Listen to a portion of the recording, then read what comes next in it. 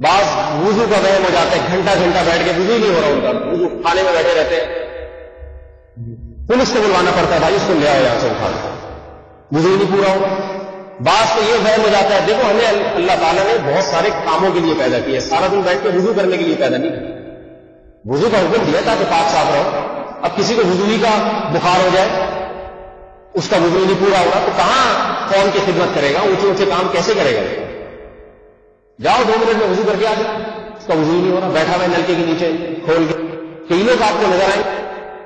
پھر وضو ہونے کے بعد ان کو شک ہوتا ہے، پتہ نہیں، ہوا تو نہیں نکل گئی پیشاب کا قطرہ تو نہیں آ گیا، یہ ایک بیماری۔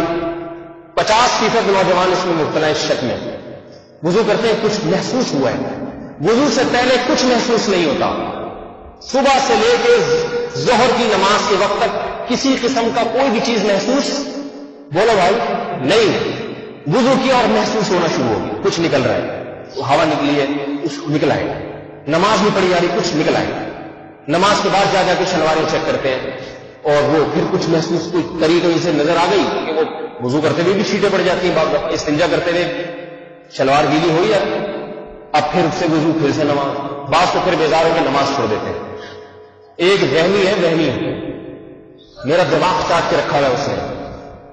میں نے اسے فتوا دیا ہے کہ تمہارا وضو نہیں ٹوٹتا، کچھ بھی ہو جائے۔ کتنا بیزار آ گیا ہے اسے۔ میں نے کہا، قیامت کے دن میرا گریبان پکڑنا، اگر کسی نے کہہ دیا نا، تمہارا وضو دن ٹوٹا تھا، میرا۔ میں نے کہہ دوں یا اللہ اس کا نہیں ٹوٹتا تھا، مجھے پتا تھا۔ کہیں دور گٹر کا پانی نظر آ جائے تو کافی دور سے گزرتے چھوٹنا پڑ جائے۔ گا اگر ایسے انسان زندگی گزارے گا تو دو چند دنوں میں پاگل ہو جائے گا اور نام اس کو پاگل کرنے کو تقوا کا دیا جاتا ہے۔ حضرت اتنے متقی کے پاگل ہو گئے۔ متقی پاگل تھوڑی ہوتے ہیں بھائی، متقی تو بڑے ذہین ہوتے ہیں۔ انبیاء کرام سے زیادہ تقوا کس میں تھا؟ تمام انبیاء بڑے ذہین، سمجھدار، بیدار مغز ہوا کرتے تھے۔ رسول اللہ صلی اللہ علیہ وسلم نے فرمایا، جس کو وضو کے بعد شک ہوا کہ اس کی ہوا خارج ہوئی ہے نہیں تو وہ مسجد سے باہر نہ نکلے۔ جب تک کہ سو فیصد یقین نہ ہو جائے۔ علماء نے لکھا ہے کہ یقین کی علامت قسم اٹھا کے کہہ سکے، خدا کی قسم اٹھا کے کہ ہوا خارج ہوئی ہے یہ پیشاب کا خطرہ نکلے جب خدا کی قسم اٹھا کے کہہ دے گا، اتنا یقین ہو پھر وضو ٹوٹے گا۔ اس سے پہلے نہیں ٹوٹے گا۔ چاہے کیسے ہی شکوک آئے دل میں۔ بعض ذہنیوں کو یہ وہم ہوتا ہے کہ پتہ نہیں ہم قسم اٹھا کے کہہ سکتے ہیں کہ نہیں کہہ سکتے اتنا یقین ہے، اس میں غور و فکر رہے۔ ایسے وہمیوں کو میں کہتا ہوں، جب یہ شک ہو جائے نا کہ میں قسم اٹھا سکتا ہوں یا نہیں اٹھا سکتا، تو یہ بھی اس کی علامت ہے، یقین نہیں ہے۔ قسم اٹھا سکنے کبھی اطمینان نہیں ہے، تو اس کا مطلب ابھی یقین نہیں۔ پھر یہ وہم کہ ٹھیک ہے، میں قسم نہیں اٹھا سکتا، میں نماز تو پڑھتا ہوں، لیکن ہو سکتا ہے، نکل گئی۔ تو یاد رکھو کہ جب اللہ کے رسول کہہ رہے ہیں کہ وضو نہیں ٹوٹا، تو بالفرض اگر ہوا نکل بھی گئی اور آپ کو پتا نہیں چلا، آپ کو یقین نہیں ہے، تو شریعت کیسی ایسی شریعت کہتی ہے کہ کتنی ہی مرتبہ ایسی ہوا نکل جائے۔ آپ کا وضو نہیں ٹوٹے گا اور اللہ آپ کی نماز کو قبول، بولو بھائی، کر جب اللہ کر رہا ہے تو آپ کو پریشانی کیا ہے؟ دیکھو فقان ایک بڑا بہترین مسئلہ بیان کیا، میں آپ کو بتاؤں، اس سے ذہن کا علاج ہوگا۔ اس سے ذہن کا علاج ایک آدمی پہ غسل فرض تھا، وہ چار بالٹیاں پانی بہا کے نہایا ہے۔ دھو دھا کے نیٹ کلین، شیمپو سے ڈیٹول سے نہایا ہوا اتنا صاف ستھرا۔ دوسرے کو احترام ہوا، اس پہ غسل فرض ہے۔ لیکن اس کے پاس پانی نہیں ہے نہانے کے لیے۔ پانی نہیں، پانی ختم ہو چکا ہے۔ اس کے جسم پہ نجاست لگی ہوئی ہے، دھونے کے لیے پانی نہیں۔ ہے شریعت کہتی ہے تیم ممو سعیدن طیبن کیا کرو اب؟ تیمم کرو۔ دو ضرب۔ ایک دفعہ ہاتھ زمین پہ مارا، غسل کی نیت سے۔ زمین پہ مار کے اپنے چہرے پہ پھیر لیا، ایک دفعہ۔ دوبارہ ہاتھ زمین پہ مارا بایاں ہاتھ یہ والے بازو پہ اور دایاں ہاتھ یہ والے بازو پہ۔ بعض لوگ یہ طریقہ بتاتے ہیں، یوں کر کے یہ اس کا کوئی ثبوت نہیں۔ ایسے پھیر لیا، ہو گیا بس۔ شریعت اب کیا کہتی ہے؟ آپ کا غسل ہو گیا ہے۔ کیا ہو گیا آپ کا؟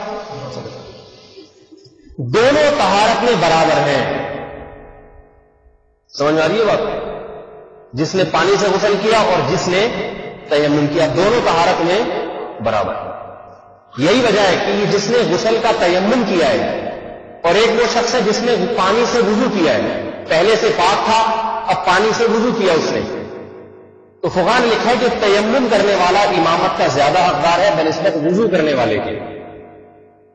وجہ اس کی ہے کہ اس نے غسل کا تیمم کیا ہے اور اس نے پانی سے وضو کیا ہے۔ نہانے والا آدمی زیادہ صاف ستھرا ہے شریعت کی نظر میں بنسبت وضو کرنے والے آدمی کے۔ اور امام زیادہ صاف ستھرا ہونا چاہیے بنسبت نمازیوں کے۔ یہ بھی ایک وجہ ترجیح ہے۔ نہیں آئی میرا خیال بس۔ رحمی کیا کہہ رہا ہے؟ رحمی کہے گا، بھائی، میرے تو پاؤں پہ نجاست لگی ہوئی ہے۔ اور میں تو پانی سے نہایا نہیں سے مٹی سے یوں یوں کیا میں نے۔ میں کیسے نماز پڑھاؤں ان لوگوں کی؟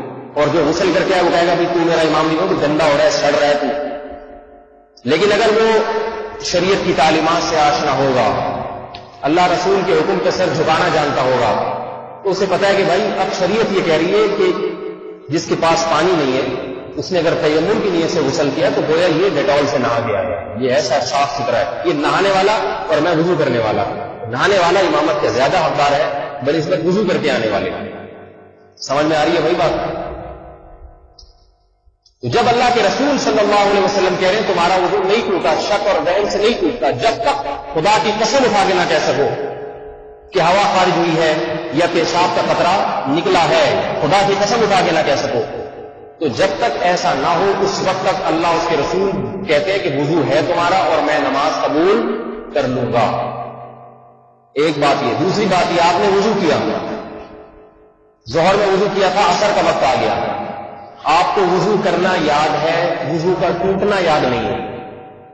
اب آپ شک میں ہیں کہ پتہ نہیں میرا وضو اب تک باقی ہے بھی یا نہیں ہے۔ سمجھ میں آ رہی ہے بات؟ آپ غور و فکر میں تجسس میں ہے کہ اب تک پتہ نہیں میرا وضو باقی ہے یا نہیں ہے۔ تھوڑی دیر دماغ پہ دباؤ ڈالا، آپ کو ٹوٹنا یاد نہیں آیا۔ تو شریعت کہتی ہے کہ وضو آپ کا باقی بولو بھائی، باقی ہے وضو آپ۔ بس آپ کو چونکہ ٹوٹنا یاد نہیں ہے، تو بس ہے۔ وہمی کہہ رہا نہیں نہیں ہے۔ اللہ رسول کہہ رہے ہیں اور جس کو اللہ رسول کی آیات پر احکام پر یقین ہوگا، وہ خوشی خوشی سے نماز پڑھے۔ جس کو یقین نہیں، وہ ساری نماز نہیں سوچ رہے پتہ نہیں ہے بھی کہ نہیں۔ پتہ نہیں ہے بھی کہ نہیں۔